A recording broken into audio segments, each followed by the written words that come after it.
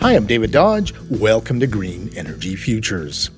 Ron Kube of St. Albert never thought twice about energy use in his home until he read an article about a neighbor who installed a solar system. So I had seen an article in the St. Albert Gazette um, by Kevin Ma, and that got me really excited. And I went over to his house and I took a look at his solar panels and I said, wow, this is really cool. I need to learn more about this. The first question a solar installer asks you is how much energy do you use? Ron had no idea, so he gathered up his utility bills and added them up. And what I learned right off the bat, uh, David, was that the average uh, Alberta household uses about 7,200 kilowatt hours of power in a year. And I was curious to know what, what we were using. So I grabbed my electricity bills and I found out that we were using well over 12,000 kilowatt hours a year. So the natural question to me was like, where are all those electrons going? Ron was stunned.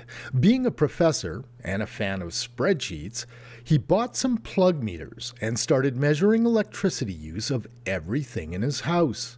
The energy detective was born.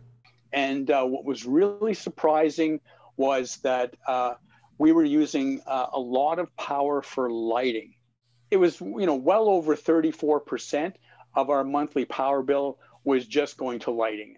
Ron changed his light bulbs to LEDs, unplugged a beer fridge, put electronics on power bars, and presto, he had slashed his electricity use. Then he installed his coveted 9 kilowatt solar system, enough to provide all of his electricity needs. The thing is, Ron didn't stop there. He found even more ways to conserve electricity. In fact, uh, at the end of all of that energy efficiency, we went from about a thousand kilowatt hours a month to around 430, um, which is about 5,200 kilowatt hours a year, which means that we started to overproduce electricity um, by about uh, 3,500 kilowatt hours a year. This is pretty exciting for a solar owner, but Ron found he could only get $300 for exporting 3,500 kilowatt hours onto the grid. The other way of using that power was to power an electric vehicle. Uh, and so we bought a 2018 Nissan Leaf. Uh, my wife can drive that over 22,000 kilometers uh, a year. And in a year, she would save $2,500 uh, in gasoline savings alone. Yes, you heard right. Instead of exporting his excess solar electricity to the grid, Ron and his wife Carol bought a Nissan Leaf electric vehicle, and they can drive 22,000 kilometers on his excess solar power. They save $5,000 in fuel costs in two years. On paper, this also dramatically reduces the payback time for Ron and Carol's solar system. Uh, we've now had the system for three years. Um, and so the payback for, uh, you know, for the system in the white paper was a five-year payback. However, that was assuming that you're driving around 22,000 kilometers a year, um, which we did in the first two years.